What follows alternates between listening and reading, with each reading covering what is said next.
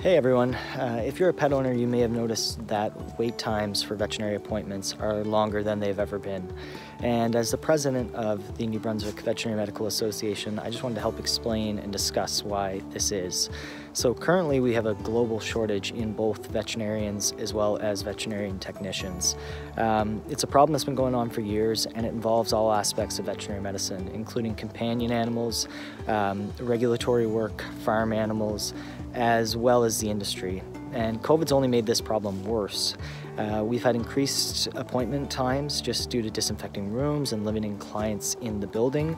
We've had staff needing to isolate as well as increased stress and burnout with our staff. Um, and then, of course, there's been the massive increase in the number of pets in Canada as well as worldwide. Um, national and provincial organizations, vet schools, they're all working towards a solution, but it's still going to take years to notice any real change with this. For you, the public and pet owners, uh, this means we need you to plan in advance for booking routine procedures and appointments. Um, it's also important to ensure that you follow your veterinarian's advice on preventative care such as vaccines, deworming, um, husbandry, and nutrition, as prevention is going to be the best way to ensure your pet's health.